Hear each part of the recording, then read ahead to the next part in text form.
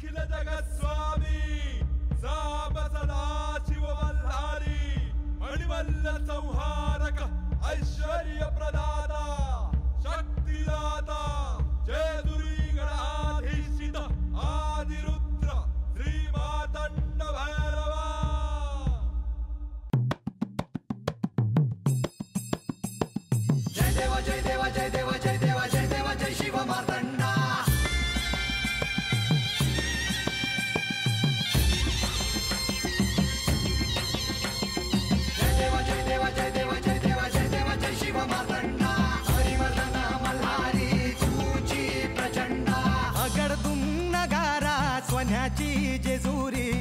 देव गेले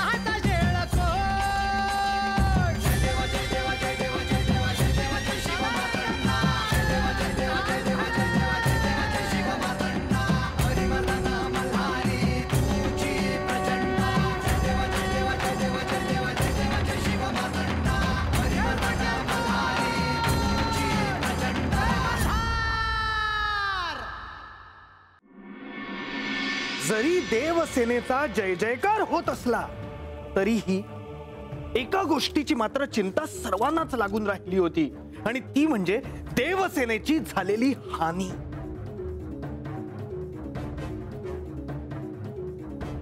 आता केवळमध्ये रात्र होती रात्र सरली की पुन्हा युद्धाला प्रारंभ होणार होता. परंतु हे युद्ध लढण्यासाठी आता देवसेनेकडे खूपच कमी सैन्य उरले होते. तिथेही अशी परिस्थिती होती. आणि तिथे मल्लासुराच्या राजवाड्यात मल्लासुरापर्यंत ही वार्ता पोहोचवण्यासाठी सेवक गेले होते. अजूनही युद्धभूमीवरून कोणताही निरोप कसा काय आला नाही? सूर्यास्त होऊनही बराच वेळ झाला. एव्हाना सेवक निरोप घेऊन यायला हवा होता. युद्धभूमीवर काय झालं असेल? दैत्यराज मल्लासुराच्या राजवाड्यातही सगळीकडे भयानक शांतता दिसतीये. हे संकेत बरे नव्हेत.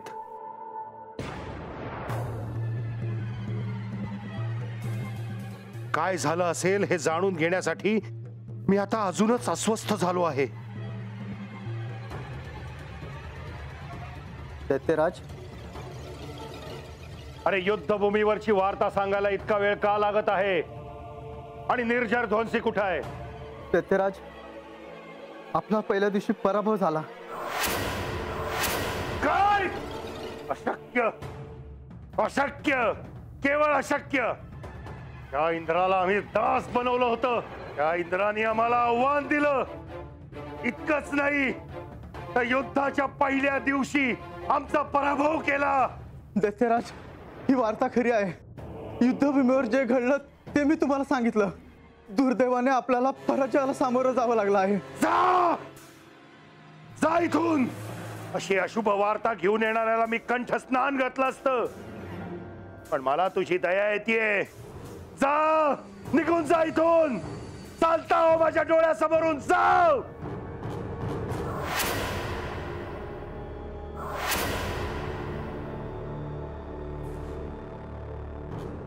युद्धात पहिल्या दिवशीच दैत्यांचा पराभव झाला. ही वार्ता आता पिताश्रींना कळाली आहे. त्यांचा क्रोध अनावर होणं स्वाभाविक आहे. पण मला त्यांची भेट घ्यावीच लागेल. दैत्यराज. आलास ये. ये कुंभक ये. एव्हाना तुझ्यापर्यंत देखील ही वार्ता पोचली असेलच. की युद्धाच्या पहिल्याच दिवशी युद्धभूमीवर दैत्यांचा पराजय झाला. हो. माझ्यापर्यंत ही वार्ता पोहोचली आहे दैत्यराज. आणि हे सांगताना तुला काहीच कसं वाटत नाही? निर्जर ध्वंसीला हरवलं निर्जर ध्वंसीला केवळ हरवलंच नाही दैत्यराज. त्याने निर्जर ध्वंसीचा वध केला आहे. त्याचबरोबर कराल दैत्य अमरोत्तर दैत्य. दूषक दैत्य दैत्यसिंह हलदंत देवनाशक अशा महापराक्रमी दैत्यांना मृत्यूला सामोरं जावं लागला अरे पण हे कसं घडलं? त्या हातबल झालेल्या देवांमध्ये एवढं बळ आलं कुठून? मला असं वाटतंय की आता मी स्वतःच युद्धभूमीवर जावं. आणि त्या देवांना पुन्हा दैत्यांचं दास बनवावं. युद्धभूमीवर जाण्यासाठी माझे हात शस्त्र घेऊन लढायला अधीर झालेत. दैत्यराज आपला राग मला समजतो आहे. पण आपण आता युद्धभूमीवर जावं अशी परिस्थिती नाही. मी त्या देवांना घाबरलेलो नाहीये. क्षमा असावी दैत्यराज. आपल्या पराक्रमाबद्दल माझ्या मनात किंचितही संदेह नाही. मला फक्त इतकंच म्हणायचंय की त्या देवांना शासन करण्यासाठी आपण युद्धभूमीवर जाण्याची काहीच गरज नाही. हे तू काय बोलतोयस निकुंभ? अरे आपण हरलोय पहिल्याच दिवशी. आणि आता जर आपल्याला आपल्या सेनेचं मनोबल उंचावायचं असेल तर आपल्याला दुसऱ्या दिवशी त्या देव सेनेवर विजय मिळवावा लागेल. आणि तो मिळेलच दैत्यराज. काय म्हणायचंय तुला? दैत्यराज युद्धाच्या पहिल्या दिवशी जरी आपल्याला पराभवाला सामोरं जावं लागलं असलं तरी देवसेनेची भयंकर हानी झाली आहे. देवसेनेच्या शिबिरात मृत्युमुखी पडलेल्यांची संख्या डोळ्यात मावेनाशी झाली आहे. आता ह्या परिस्थितीत देवांचा आपल्या विशाल दैत्य सेनेपुढे काहीच निभाव लागणार नाही. दैत्य कुळातला कोणताही पराक्रमी दैत्य युद्धास पाठवला तर सूर्यास्त होण्याआधी तो देवसेनेचा पराजय करेल यात शंकाच नाही. आपण निश्चिंत राहा दैत्यराज. उद्याचा दिवस आपला विजय घेऊन येईल याची मला खात्री आहे. नारायण नारायण. मल्लासुरापर्यंत ही वार्ता पोहोचली. की पहिल्याच दिवशी दैत्य सेनेचा पराजय झाला होता. परंतु मल्लासुराच्या हेही लक्षात आले होते की या पहिल्या दिवशी देवसेनेची मात्र खूप हानी झाली होती. आणि त्यामुळे आता आपण देवसेनेला सहज पराभूत करू शकू हे त्याला ठाऊक होते.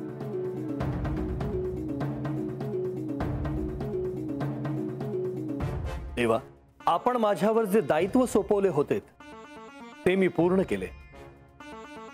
युद्धाच्या पहिल्याच दिवशी देवसेनेचा विजय झाला. पण त्या युद्धाच्या पहिल्या दिवसात देवसेनेची अपरिमित अशी हानी झाली होती. माझा विजय झाला. पण अनेक देवशिबिरे ओस पडली होती. पुढे काय होणार? या चिंतेने सर्वच जण अस्वस्थ झाले होते. नारायण. नारायण।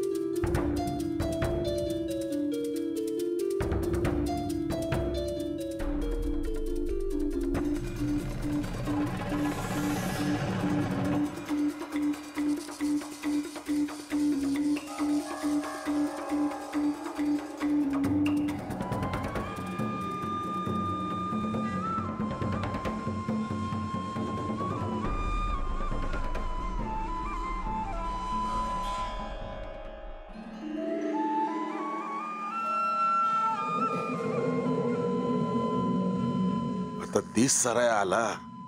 तरी अजून मी आतच बसून राहिली आहे। काय करावं म्या? नारायण नारायण।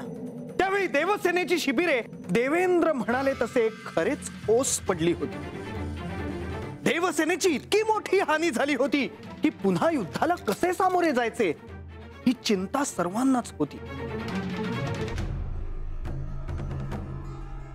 आजा आता तुलाच हातपाय हलवावं लागणार आहे ते. तुझ्या मोर तुझ्या पोरीचं असं कुडत जाणं. बघवणार आहे वय तुला.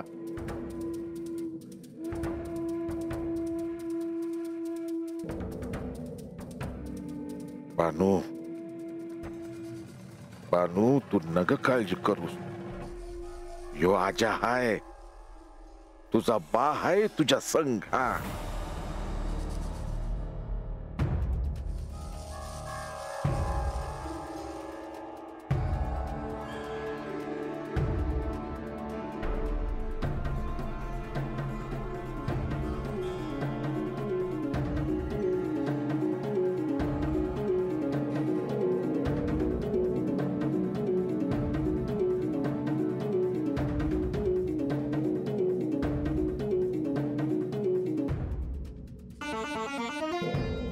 ब्रह्मदेव आपली चिंता व्यक्त करण्यासाठी त्रिमूर्तींकडे गेले.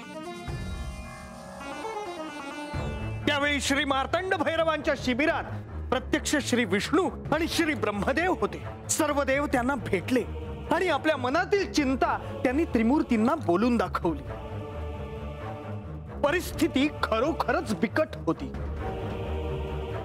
दुसऱ्या दिवशीचा सूर्योदय होताच क्षणी युद्धाला पुन्हा प्रारंभ होणार होता. त्यावेळी सर्व जणांची चिंता त्यांना दिसत होती. देवसेनेची परिस्थिती पाहण्यासाठी सर्व देव आता निघाले होते. देवा दैत्यांशी लढताना आपल्या अनेक वीर योद्ध्यांना मरण पत्करावं लागलं आहे. अनेक देवसैनिक जखमी झाले आहेत. देवसेनेची अपरिमित अशी हानी झाली आहे देव.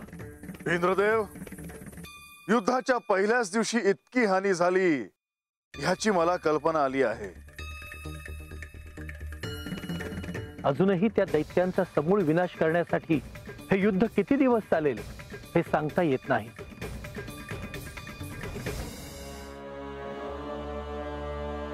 अशा परिस्थितीत देवसेना फार मोठ्या संकटात सापडली आहे प्रभू. प्रभू उद्या युद्धाचा दुसरा दिवस आहे. आणि आता त्यांना कसे सामोरे जावे हा एक मोठा प्रश्न आहे.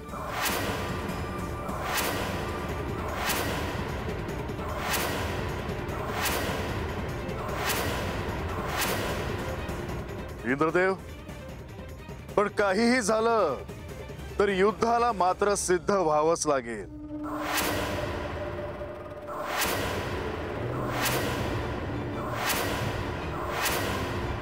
पण कसं देवा? आपल्याकडे सैन्य कमी आहे आणि दैत्य सेनेचे बळ मात्र अधिक आहे.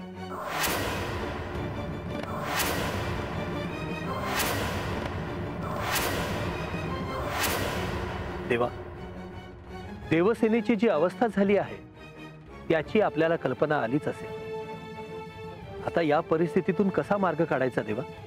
इंद्रदेव, ह्या अशा परिस्थितीतही मार्ग सापडेल आपण चिंता करू नये.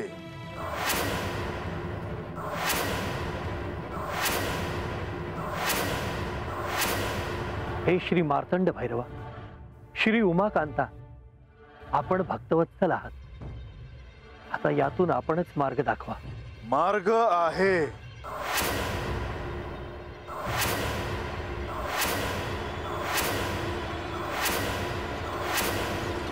कोणता मार्ग देवा? इंद्रदेव धीर धरा.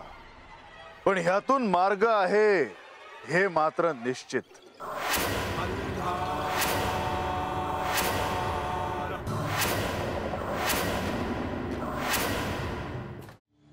नारायण नारायण.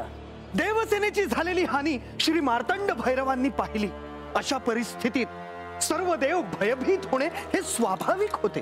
परंतु श्री मार्तंड भैरवांनी त्यांना धीर दिला. या अशा बिकट परिस्थितीत काहीतरी मार्ग निघेल असे त्यांनी सांगितले. परंतु यावर काय मार्ग असणार? हे काही केल्या कुणाला कळत नव्हते.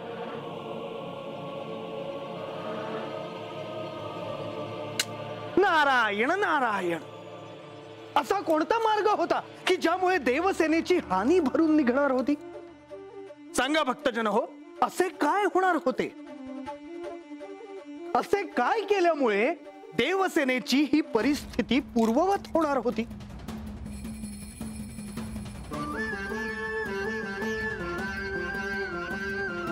म्हणजे जे मृत झाले आहेत तेही जिवंत होणार होते की काय?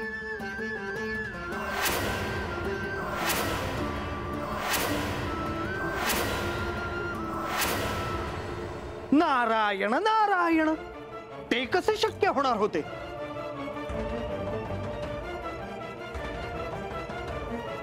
भासा काय झालं?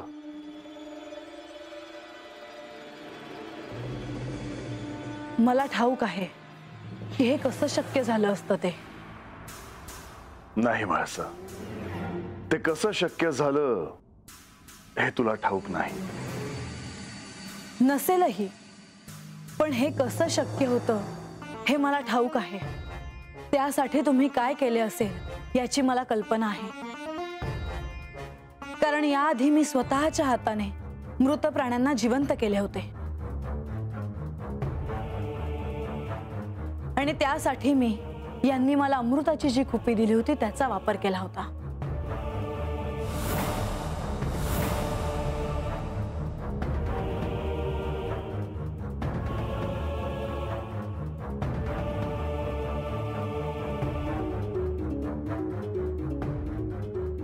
काय आहे? म्हासा ही अमृताची कुपी आहे. यात अमृत आहे. अमृत? होय. म्हासा या अमृताच्या स्पर्शाने कोणतीही मृत व्यक्ती अथवा मृत जीव पुन्हा सजीव होऊ शकतो. अमृताच्या शिडकाव्याने मृत प्राणीही जिवंत झाले. मला खात्री आहे की तुम्ही त्यावेळी अमृताचाच वापर केला असणार. हो ना? भासा तू म्हणतेस ते योग्यच आहे. अमृताची महतीच तशी आहे. पण त्यावेळी अमृताचा उपयोग नव्हता केला. मग? नारायण नारायण. देवी हे सर्व नेमके कसे घडले हे जाणून घ्यायची जशी आपल्याला उत्सुकता आहे तशीच ती सर्वांना आहे. मुनिवर? पण अमृत सोडून अशी कोणती गोष्ट आहे? जिच्या स्पर्शाने जिच्यामुळे हे दिव्य शक्य होणार होतं? तुम्ही म्हणता त्याप्रमाणे मला खरंच हे जाणून घेण्याची उत्सुकता आहे. नारायण नारायण.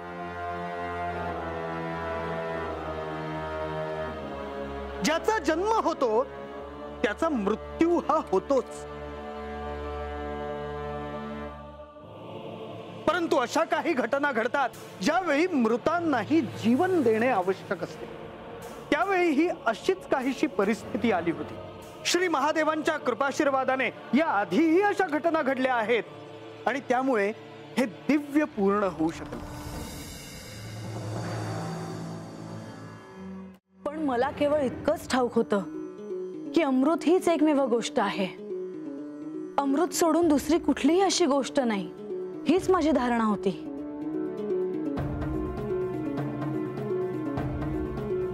म्हासा अमृताखेरीज एक अशी एक विद्या आहे की जिच्यामुळे हे शक्य झालं होतं. ह्या विद्येचा उपयोग जेव्हा जेव्हा आवश्यकता असेल तेव्हा तेव्हा सृष्टीच्या भल्यासाठी केला जावा हा माझा हेतू होता. पण तुम्ही हे मला याआधी कधी सांगितले नाही? कारण तसं सांगण्याची आजवर कधी वेळच आली नाही. अनेक गोष्टी मला आता नव्याने कळतायत. या जर मला आख्यानातून कळल्या नसत्या तर या मला कधीच कळल्या नसत्या. भासा त्या तुला ठाऊकच आहेत. केवळ इतकंच की आता तुझ्या त्या स्मरणात नाहीत.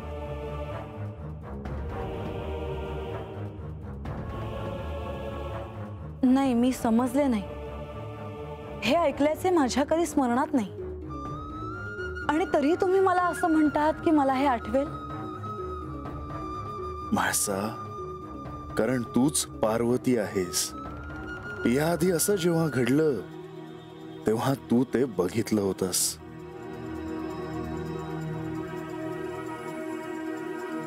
तुम्ही कसला विचार करता आहात? महाराज ह्या आख्यानाचे प्रयोजनच ह्यासाठी आहे. ह्यामधून तुला अनेक गोष्टी कळाव्यात की ज्यामुळे तू साक्षात्कारापर्यंत पोहोचशील. तुला सत्य काय आहे हे कळेल.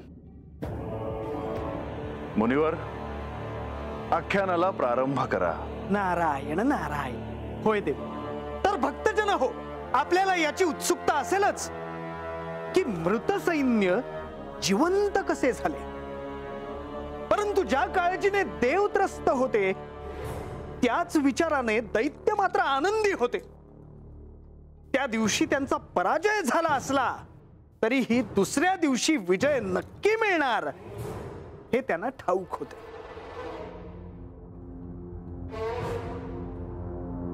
साहजिकच आहे कारण युद्धासाठी देवांकडे सैन्य नाही हे दैत्यांना ठाऊक होते. पण यांनी त्यावर काय मार्ग काढला होता हे मात्र मणी आणि मल्लांना ठाऊक नव्हते. नारायण नारायण. नाही देव देवसेनेच्या शिबिरात त्यावेळी काय चालले होते यापासनं मात्र मणी आणि मल्ल हे अनभिज्ञ होते. देव आता काय करतील हा विचार त्यांच्या मनातच नव्हता. देव आता काय करतील याही पेक्षा आपण देवांचा कसा पराभव करू याच विचारात ते होते.